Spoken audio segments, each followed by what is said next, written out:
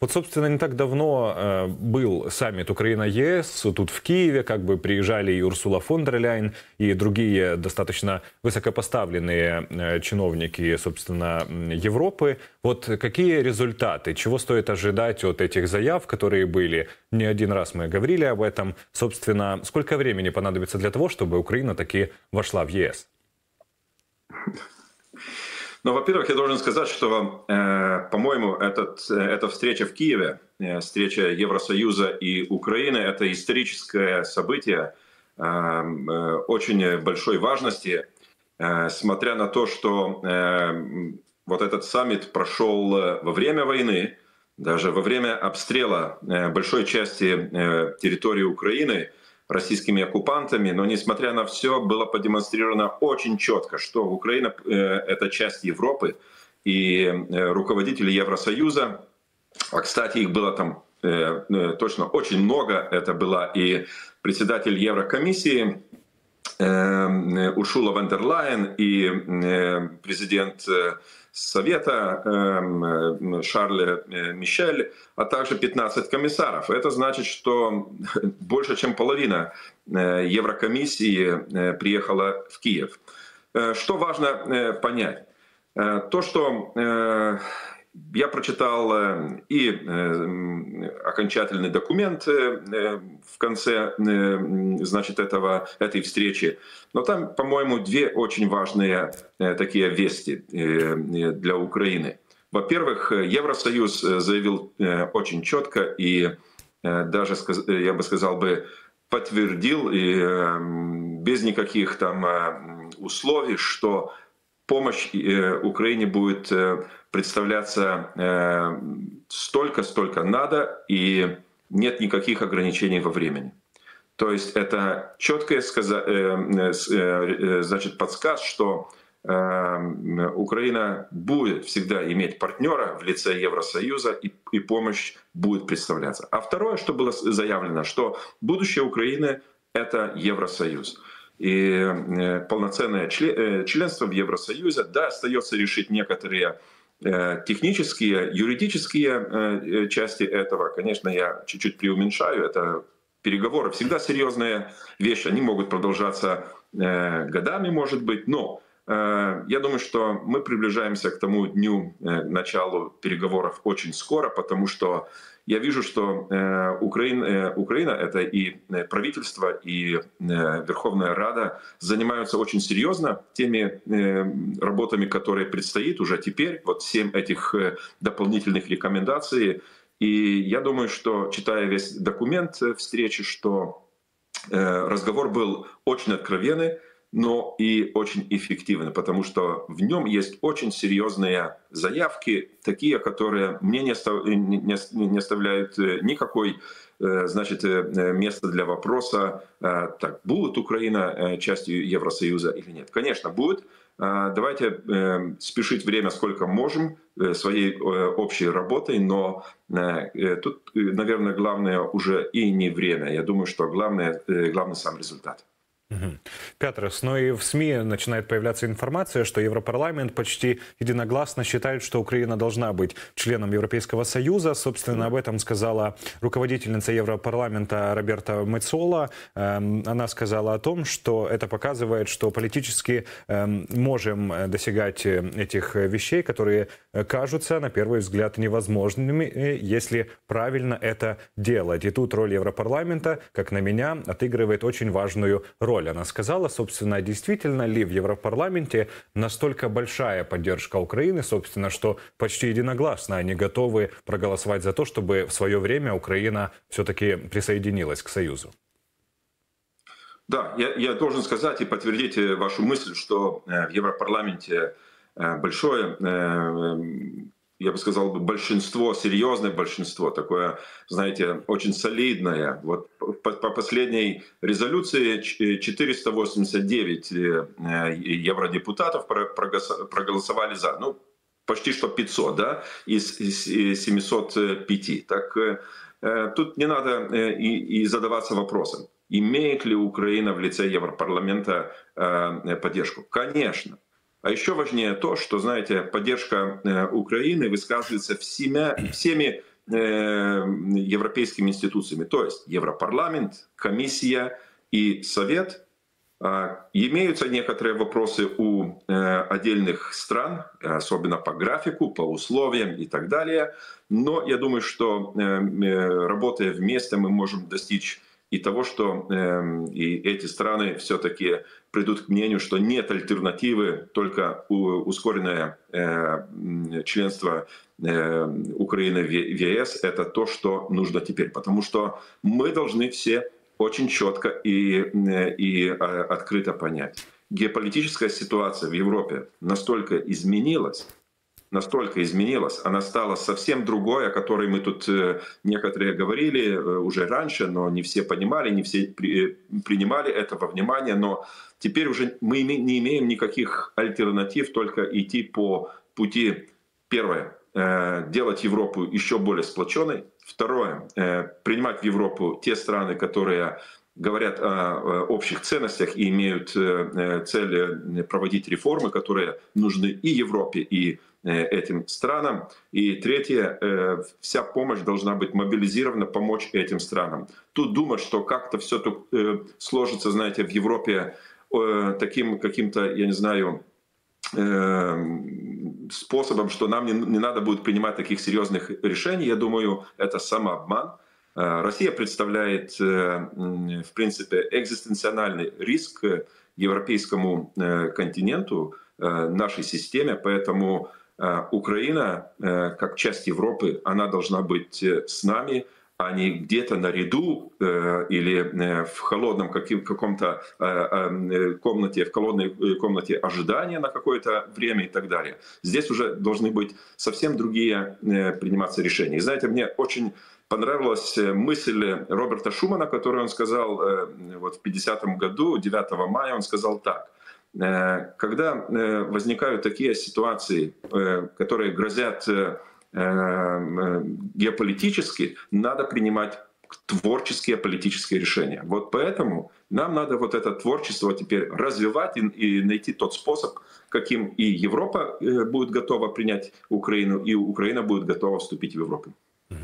Петрос, ну еще одна очень э, важная, как по мне, тема, это то, что Европарламент, он поддержал инициативу президента Украины Владимира Зеленского по поводу гарантии безопасности для Украины. Собственно, считаете ли вы, что э, вот именно в моментах безопасности, как и Украины, так и Европейского Союза, надо сконцентрироваться вот первым очередь, э, в первую очередь, да, вот когда э, уже партнерство будет как-то официально оформлено там в документах? Конечно, да. Потому что э, теперь Украина стала, э, знаете, э, целью агрессии и э, объектом э, агрессии Российской Федерации. А эта агрессия нам, э, в принципе, она всегда имеет тенденцию развиваться.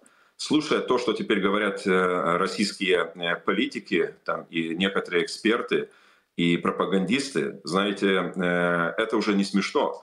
Э, в принципе, э, угрозы идут каждый день.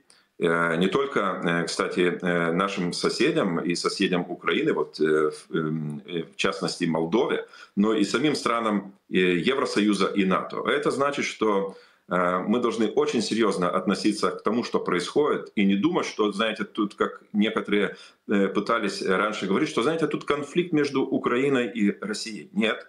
И это, кстати, очень четко сказано в заявлении после встречи в Киеве на верхах Евросоюза Украины, что это э, значит столкновение демократии и э, российского шовинизма и э, российской агрессии. И это вот четко надо понимать. Украина является той частью демократии, которую мы должны тоже сохранять, делать все возможное, помогать. Поэтому система безопасности Европы теперь терпит испытания в Украине, мы видим э, наши слабые места, мы знаем, что нам надо сделать, делать вместе с Украиной, да, э, Поэтому и членство в НАТО, украинское членство в НАТО является очень важным вопросом. Но нам всем надо заниматься безопасностью совсем по-другому, чем мы это делали некоторое время тому назад. Поэтому знаете, это огромная цена, которую платит Украина, но это возможность Европе совсем пересмотреть и построить такую систему безопасности, что такие агрессоры, как теперь Российская Федерация, не могли бы замахиваться на отдельные страны или на весь блок европейской безопасности. Все-таки присоединиться к ЕС, смогут ли потом в Европарламенте, собственно, говорить и о членстве в НАТО каком-то? Верите ли вы в это и о чем говорят в кулуарах, если можно так выразиться?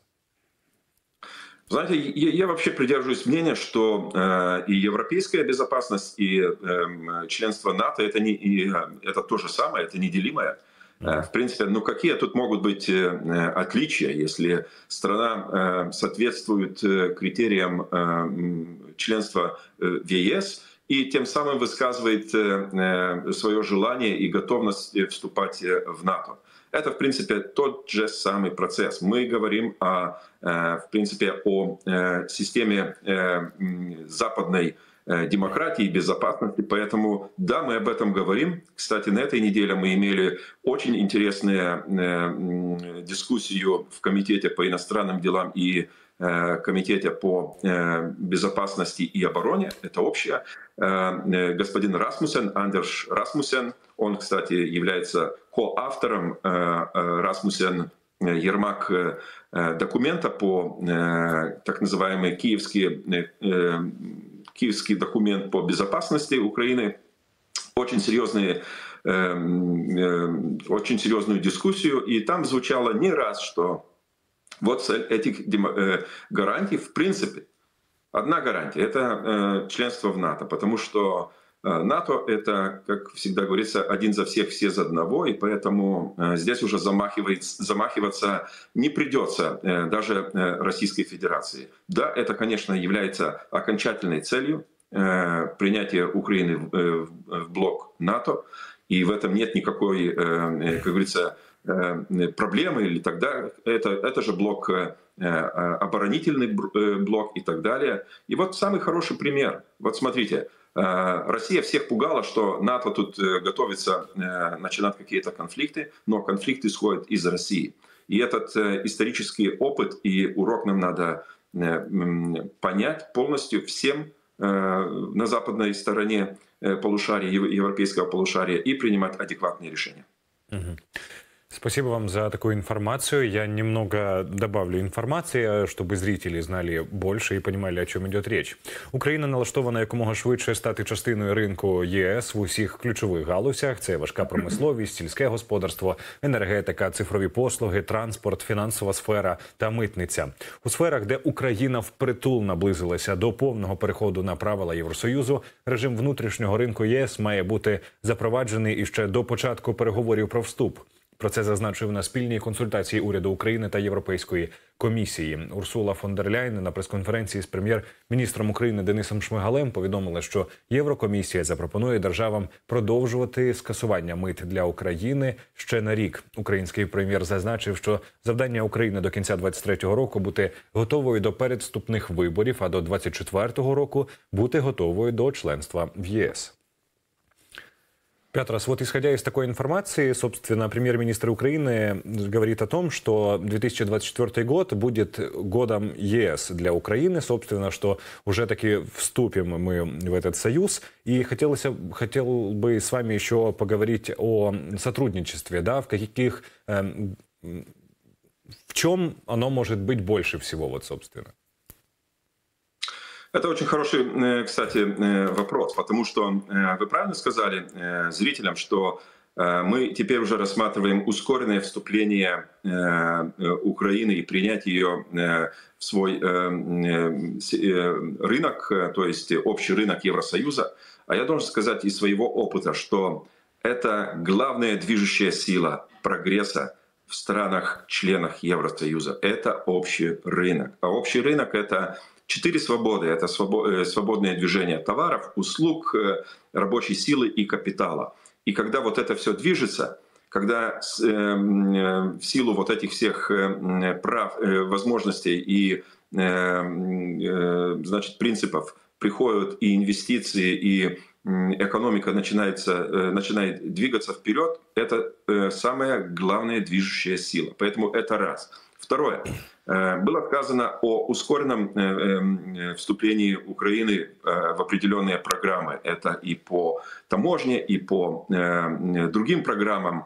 Кстати, хорошее было принято решение, что отменяются взносы Украины э, по э, участию в этих программах. Это очень правильное э, решение, потому что Украина должна свои деньги класть теперь совсем другие, скажем так, решения и так далее. Мы это все понимаем. И здесь тоже большая, как говорится, большой смысл всего этого, потому что когда страны участвуют программах Евросоюза, они учатся, они понимают суть определенных вот таких горизонтальных инициатив и программ. Это очень важно, это помогает странам перенимать самый хороший опыт, да, так же, как и, скажем, обмен обмен специалистами, опытом и так далее. Это кажется э, со стороны, что ну что, вот э, тут э, какие-то бюрократы и, и будут разъезжать и так далее. Нет, они учатся, они принимают опыт, потому что,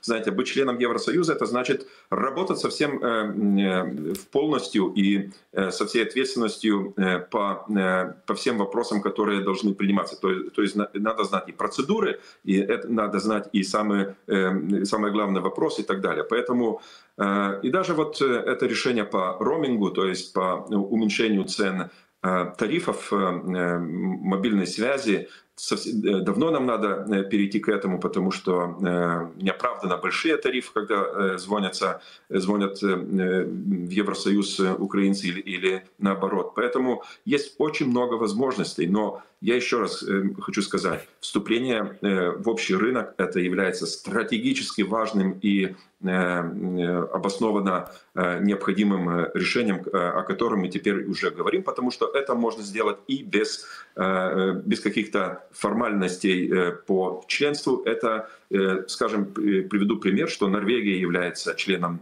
общего рынка, она, конечно, платит определенные взносы, потому что она не хочет быть членом, но в случае Украины мы, мы видим совсем другую ситуацию.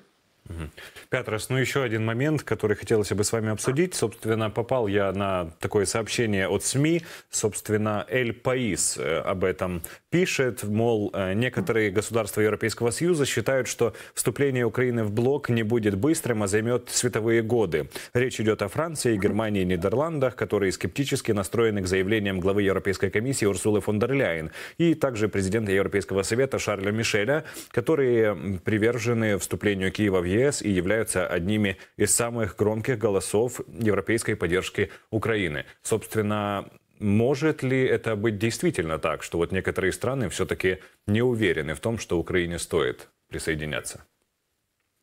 Есть определенные страны, то есть это не, не то, что страны, а политики. Они формируют э, мнение. Угу. То есть те политические силы, которые вот, движут этими странами, коалициями, да, они имеют э, определенные сомнения здесь и по экономическому э, развитию, потому что один из критерий, кстати, э, членства в Евросоюзе — это вообще э, возможность страны выполнять все значит, необходимые требования, которые выплывают из формального членства. Да, это ясно. Но мы, как я и говорил, геополитика все-таки диктует свои правила. Я вам задам тоже э, вопрос. А кто верил в прошлом году, что вот э, в июне, 23 июня мы э, примем решение по статусу кандидата Украины? Немногие верили этому. И поэтому тут какими-то задаваться большими вопросами, как тут и все, тут десятилетия и так далее. Знаете, все решает э, человеческая воля и политическое э, понимание э, всего вопроса. Да, я, я не буду тут утверждать, что за полгода или за 8 месяцев Украина станет полноценным членом. Это будет, наверное, нереально. Да? Но я, я вижу и такие возможности, что, что, скажем так, Украина может пользоваться всеми или многими, многими скажем так, условиями членства и без формального членства. А формальное членство, знаете, да, надо признать, что в некоторых странах будет, необходимо будет организовать референдумы. А на этих референдумах, знаете, и русская пропаганда иногда играет свои игры. Поэтому, сколько я знаю, и Франция, и Нидерланды, они должны иметь национальные референдумы по этому вопросу. А в других странах это, э, это решение могут принять и национальные парламенты. Поэтому, э, знаете, можно создать такие условия, которые теперь нужны Украине э, особенно. Это и финансовая помощь, и выход на общий рынок, и вообще э, сотрудничество в тех, э, э, в тех секторах, которые определяют прогресс Украины и, вообще укрепляют государственность Украины. Поэтому будем слышать многие, наверное, высказывания, что тут трудно сделать и тот. А почему не попробовать и сделать, а потом уже говорить о трудностях, которые были позади нас? И, собственно, в конце хотелось бы добавить еще немного информации, вот вкратце, потому что времени не так много. Війна там та тимчасово окуповані території не стануть перешкодою для вступу України в ЄС. Так вважає заступник міністра закордонних справ України Микола Точицький. На його думку, якщо буде створено необхідні інститути, щоб відповідати усім критеріям, то війна не стане перешкодою до вступу в ЄС. Є досвід певних країн-членів, які до кінця не врегулювали свої територіальні претензії, зазначив український дипломат. Я думаю, що у переговорному процесі ми дійдемо рішення щодо вступу, але не сумніваюся ні в ЗСУ, ні в українському народі, ні у президенті президентові, що ми завершимо нашу перемогу до вступу в ЄС. Найбільш реальний сценарій, що Україна стане членом ЄС за два роки, зазначив Точицький. А вот вы как считаете, война может помешать решению вступить Украине в ЕС или нет? Политически и юридически мы знаем, где границы э, Украины. Это не вызывает для нас никакого вопроса, если говорить о территориальной, территориальной, э, значит, территориальному суверенитету и так далее. Э, война имеет другой, наверное, аспект. Это финансовый и вообще сколько внимания политики и правительства должны каждый день, каждый час значит, тратить на, на войну, сохраняя Э, безопасность страны. Но, знаете, как э, говорилось и по вступлению Кипра, по вступлению, значит, э, Кипра было сказано, что только один Кипр может стать членом Евросоюза. Это значит вопрос времени по объединению или там условиям объединения и так далее. Поэтому если Путин и думал, что за счет войны он сдержит Украину от значит, интеграцию Э, в западные структуры. Я думаю, что мы все видим на, на, реальном примере, что э, это такая, значит, э, такое ожидание, это просто идет в провал и наоборот. Украина и Запад идут, идут друг другу навстречу и просто ускоривают интеграцию. Я, я, я сделаю сам лично все, чтобы это стало бы реальностью. Спасибо вам большое и спасибо всем партнерам, которые так или иначе, но могут помочь украинской армии, украинскому народу, которые сейчас вынуждены просто выезжать в европейские страны, просто убегая от этой страшной войны. Петрас Аустравічус, депутат Європарламенту від Литви, був з нами на прямому зв'язку. Дякую вам дуже.